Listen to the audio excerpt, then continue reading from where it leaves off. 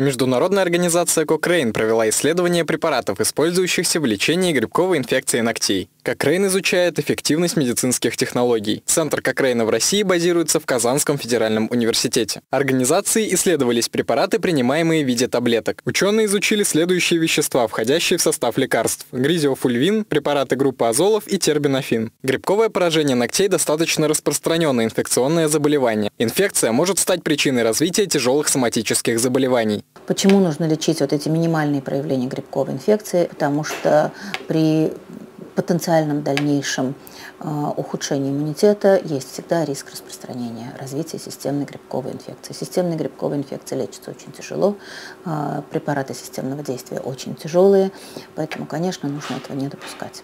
Тербинофин, азол и гризиофульвин на основе доказательств оказались эффективными средствами в излечении инфекций и приведении в порядок внешнего вида ногтей. Тербинофин показал наивысшую эффективность из изучаемых препаратов. Прием лекарств, состав которых входят данные вещества, связан с определенными рисками. Риски, к сожалению, есть. А, риски, к сожалению, есть. И максимальные эти риски выражены у препарата гризиофульвин.